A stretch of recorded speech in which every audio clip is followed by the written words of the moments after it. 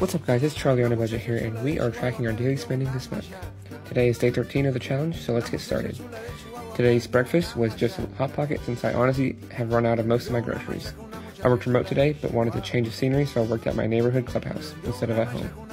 Lunch was me finishing my leftover ramen from before, so that was free or prepaid, I guess.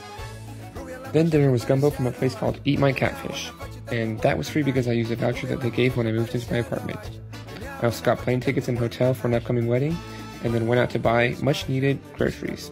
I'm not including that in my total because I calculate the cost of each meal broken down. And to end the day, I filled up my tank, bringing us to 270.16.